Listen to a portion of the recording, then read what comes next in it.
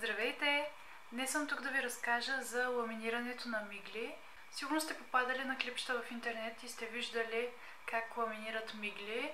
Буквално ти поставят силиконова подложка на клепача и с специални за целта гелове извиват, извиват миглите нагоре. Не съм специалист в тази сфера и не съм карала такива курсове, затова не мога да ви кажа точно какви са химичните реакции, които се случват, но, а, но доколкото разбрах е подобно както при перманентното къдрене на косата, само че е продукт, който е създаден за зоната около очите. Изглежда малко страшно, но всъщност не е болезнено изобщо. Затова реших да направя едно бързо видео, да ви разкажа какво се случи, дали съм доволна от резултатите и също ще ви покажа снимки преди и след. Мястото, където аз ходих, се намира в град Бургас. Като цяло съм много доволна и а, препоръчвам процедурата и момичето, което а, ми прави миглите. Затова ще поставя долу в описанието на видеото нейните координати, ако искате да я намерите, ако се интересувате. Но сега ще ви разкажа какво се случи, когато аз отидох и как общо взето премина цялата процедура. Когато се настаних вътре, момичето ми даде да попълня ам, един формуляр, в който си написах имената, дали имам някакви алергии, дали не съм бременна и такива неща. Също така ме попита дали се подлагам за първи път на тази процедура и просто уточнихме тези подробности. След като попълних декларацията, продължихме към самата процедура. Разбира се, през цялото време аз бях с затворени очи, защото е важно някой от тези препарати да не попадне в окото, за да не го раздразни. Първото нещо, което а, тя започна да прави е да ми а, повдига миглите нагоре с някакъв инструмент, така че те да залепнат за тази силиконова подложка, която се слага на клепача. А, това може би за мен беше най-неприятната част. Не знам дали защото беше първото нещо, което тя започна да ми прави. Какво, миличък? Ела. Ела. Но ви уверявам, че не боли, а, не щипе, не сърби, нищо. Просто а, някой ти докосва а, миглите в основата и малко странно. След като ми среса и подреди всички мигли нагоре, ми сложи първият гел, който стоя на миглите ми около 15 минути.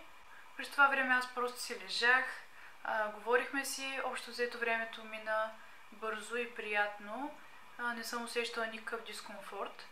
След като минаха 15 минути, тя премахна този първи гел и а, нанесе втори продукт. Не знам точно каква е разликата между двете неща, но за мен е важно да е безопасно за здравето ми и крайният продукт да ми хареса. С вторият гел стоях още 15 минути, след това премахнаха и него и а, към моята процедура беше включено и отсветяване на миглите. Това беше много бързо а, и след това просто ме почисти добре. Премахна всички подложки и това беше. Отне около час и 15 минути самата процедура и след като бях готова, погледнах се в огледалото, всичко беше чудесно. Ам, даде ми някои насоки за това как да се грижа за тях. Всъщност не, няма нищо специфично. А, по-специфичните грижи бяха през първите 24 часа. Не трябва да ги мокриш. Не е добре да седиш на влажно място. Не трябва да спиш по лице или по начин по който да ги смачкаш и изкривиш. В първите 24 часа е много важно това. След като минат тези 24 часа, можеш да си ги миеш, да си ги гримираш, можеш да правиш всичко, дори да си залепяш изкуствени мигли. Тези според мен изглеждат много по-естествено. Те са си вашите мигли, просто са извити нагоре, ам, имат хубава форма, издържат, издържат до месец и половина. Аз си мислих, че се развалят като постепенно обема пада и миглите отново се изправят, но всъщност а, не било така. Те си стояли а, извити просто докато не паднат самите мигли. Знаете, че миглите си падат съвсем нормално, човешко нещо е. Както косата, така и миглите ни падат. И на тяхно място израстват нови, но новите няма да бъдат така извити, а ще са си както са си били преди. В момента виждате снимката веднага след а, процедурата, т.е. преди процедурата и веднага след процедурата. А, аз съм удивена колко много се извиха миглите ми. Знам, че моите мигли са дълги и черни, но а, винаги са били прави и дори извивачка и спирала много трудно могат да ме спасят. Това за мен беше перфектната процедура и ми е много по-лесно сега.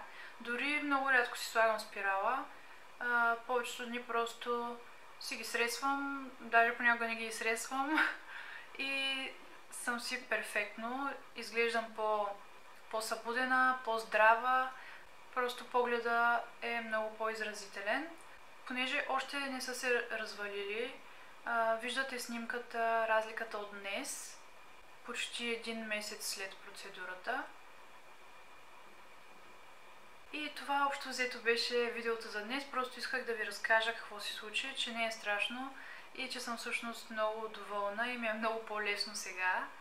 Общо взето, ако и вие имате а, прави мигли като мен и винаги ви е било трудно да ги държите извити нагоре, мисля, че това е идеалната а, процедура за вас. Едно малко нещо, с което трябва да се съобразявате, е да не използвате мазни а, почистващи лосиони за грим или някакви, или някакви масла а, на миглите и близо до тях, защото мазното и олията всъщност ще развалят ефекта и ще ви паднат и ще ви падне извивката на миглите. Така ме посъветва момичето, което ми ги извива. И заедно с това а, не се препоръчва да използвате водоустойчива спирала, защото водоустойчивите спирали по принцип се премахват с нещо мазно. А, ако трябва да я премахнете с обикновена мицеларна вода, ще ви е доста трудно и доста ще трябва да търкате.